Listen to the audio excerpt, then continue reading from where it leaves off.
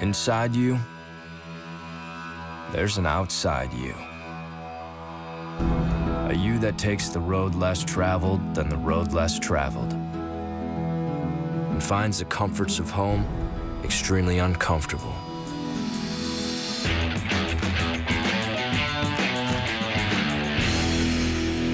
This is for that you.